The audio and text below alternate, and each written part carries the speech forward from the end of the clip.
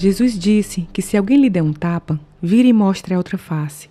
Esse ensinamento é relevante nos dias de hoje? Veja, Jesus poderia ter dito isso às doze pessoas que estavam à sua volta? Esse não é um ensinamento para todos?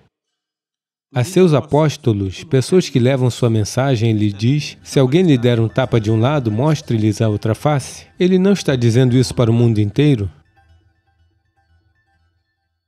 Esse homem, da maneira como vivia, ele não é do tipo que mostra outra face. Ele entra no templo e destrói todo o negócio. Então, ele não disse, certo, você tem um negócio aqui e mantém outro negócio ali. Ele disse isso? Fisicamente, com as próprias mãos, ele está lá destruindo o negócio deles, não é mesmo? Ele não é o tipo de homem que mostrará sua outra face a todos. Ele está dizendo a seus apóstolos: se você quer levar minha mensagem, você precisa ser assim. Nenhuma resistência em você, não importa o que as pessoas façam, você não se desvia de seu caminho, você apenas se mantém firme em seu caminho. Isso é o que ele está dizendo.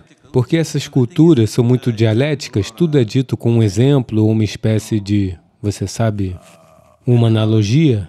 Ele está dizendo que se alguém lhe der uma bufetada em uma face, mostre a outra, não se desvie. Se alguém lhe dá um tapa numa face, se você tenta lhe dar outro de volta, então você está se desviando de seu caminho de paz e amor, não é? Portanto, ele está dizendo, não se desvie de seu caminho, simplesmente mantenha-se em seu caminho, não importa o que as pessoas façam. Tudo o que ele está dizendo é, não se torne uma reação em sua vida. Se você quer agir em sua vida, você não deve reagir. Se reagir, você será escravizado a outra pessoa, você seguirá atrás dessas pessoas. Então ele está apenas dizendo, não reajam. Essa é sua forma de dizer isso? Portanto, isso não deve ser levado ao pé da letra?